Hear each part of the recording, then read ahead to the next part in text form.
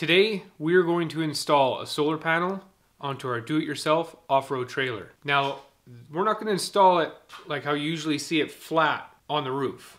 Well, it'll be slightly installed flat, but we're going to have it so that it can slide forward and then once we unlock it, it will automatically pop to a 45 degree angle. This will allow us to get more sunlight to the solar panel than just laying flat. So in the kit, the Renogy 100 watt solar panel came with a 30 watt Wanderer controller. This actually allows us to increase up to 400 watts of solar coming in. I gotta say, I actually find it fitting that this is called the Wanderer. It goes well with the off-road trailer as we're gonna be wandering our backcountry. Found it fitting, not why I got this kit. I just finished cutting the aluminum brackets that I'm making. And what I'm envisioning is one bracket is gonna be on the hinge right here. And when this is closed, this will be on the, a bracket will be on the solar panel here, which will then allow it to open up. If we were higher up, it would open up the solar panel to a 45. Then when we close the solar pan panel down closer to the hinge, the strut will then just align flat with the hinge that'll be on the roof. So everything will be tucked away inside.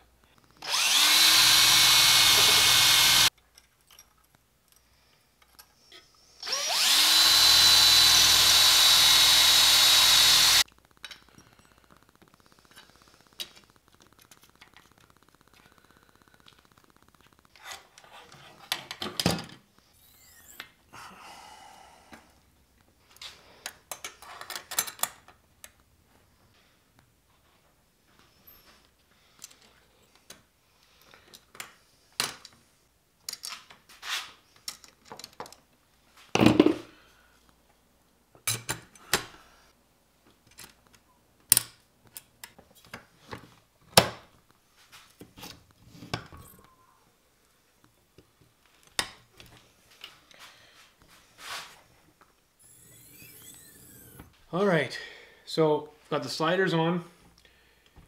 I've got our struts on.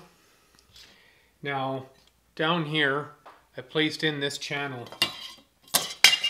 underneath to help support the bracket as the 1 16th frame of the solar panel was just too thin. It was actually starting to bend uh, when using lower up lowering and raising the sliders. So I had some leftover aluminum channel. I cut to support each corner of the where the brackets are and I'm actually going to do the same where the opposite end of the strut it's slightly bowing so instead of uh, putting that stress on it I'm going to cut some pieces two pieces out of this one, drill the holes, and install that quickly.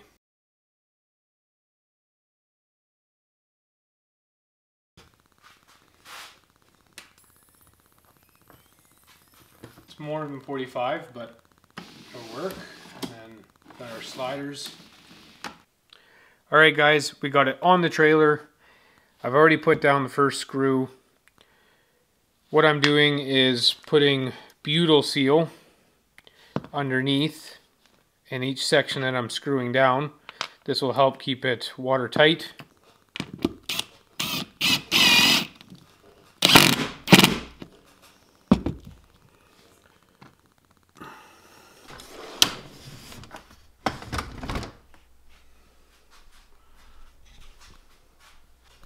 This is up. Up.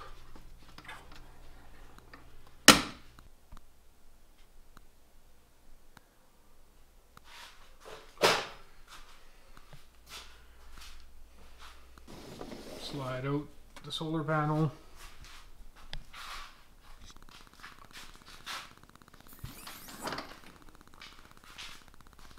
And now we are ready for some solar rays. Put it back down holding the camera.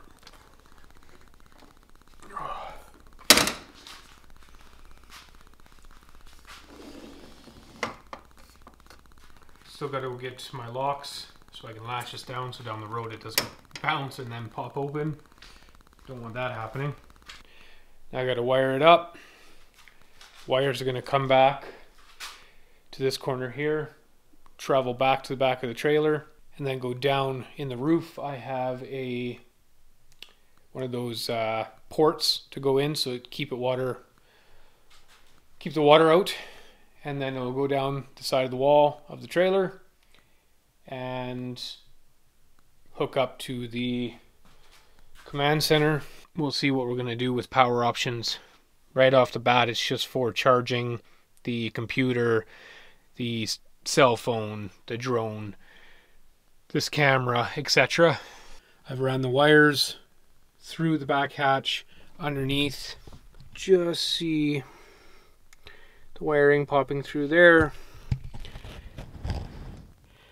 and underneath there. So we've got the Wanderer controller in the back there.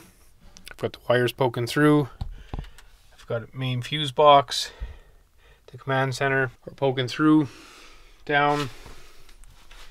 These will be all nicely tucked away and into the center, going to the command center, which is right here. Here's our waterproof box. It's hard to get the camera in there and work at the same time. So I'm going to finish off the wiring and then I'll re get in there with the camera and show you guys how I completely set up our solar system with the command center. Well guys, day two, we had to go into town, get an inline fuse 30 amp, some wire connectors, and some wire. So down below in our hatch, we have the battery. Still gotta do some more cleaning up with these wires. So here we've got the command center, cigarette lighter, USB, what our battery's at, some extra switches, but this switch will turn on the cigarette lighter, USB switch, and what our battery voltage is at. Inside is our extra fuse box, the control panel, battery shut off, and fuse box to the solar panel so I can easily throw off that fuse. Now shut down the solar panel to the battery. Then I also have a battery switch and that will provide power to our command center.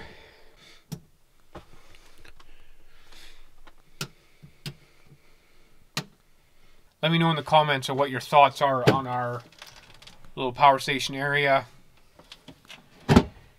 and what you thought of the solar panel slide out pop up at 45. Uh, actually, I did lock it down and let's go quickly see that before we finish off the video. As you can see, the solar panel is laying flat.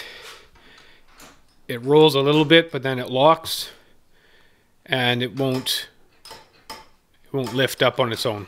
You can see I've got a carabiner and a bracket stopping it. I've got it on each side, so I'm able to move it just enough backwards again to unlock it with the carabiner. It's a little hard with just the one hand. Let's see if I can do it though. There we go. Well guys, I hope you liked our solar panel install. If you want to see what else we've been doing, you can check it out in this video here. Otherwise, head to our playlist and you can check out our podcast and other adventures. So again, thank you for watching this video and we'll see you in the next one.